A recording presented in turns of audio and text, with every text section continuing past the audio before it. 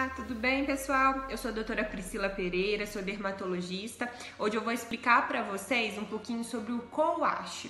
Também conhecido como condicionadores que lavam, a vantagem desse tipo de produto é que ele realiza a limpeza e o condicionamento ao mesmo tempo. Ou seja, além de ser um produto dois em um, ele vai limpar de uma forma mais suave sem agredir tantos fios.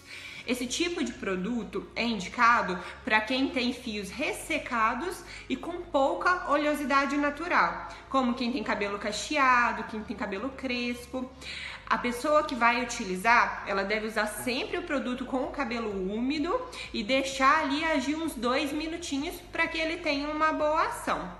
Esse tipo de produto não é indicado para quem tem cabelo oleoso, viu? Senão pode piorar muito essa oleosidade, porque ele não vai realizar uma limpeza adequada. Então, muita atenção, porque muitas vezes as pessoas que têm o cabelo com cachos, mais crespos, usam bastante leave-in, né? E algum dos leave-ins tem silicone, que é insolúvel, então com o co-wash ele não vai ser removido.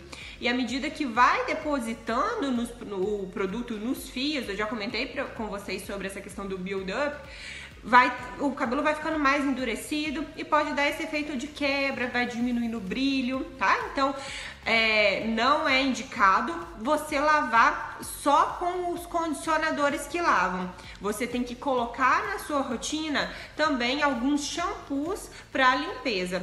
De acordo com o seu caso, o dermatologista vai estar tá te orientando, né? Algumas vezes eu indico para minhas pacientes, por exemplo, um shampoo tradicional que tem um detergente aniônico para realizar uma limpeza mais profunda, uma vez na semana e nas outras noites a gente pode ter uma forma de cuidado mais diferente, que limpa de uma forma mais suave, sem agredir tanto os fios, tá? Então, se você usar só o coache, você vai ter um problema sério com a limpeza, né, do couro cabeludo, não é uma limpeza adequada para você manter apenas com essa técnica.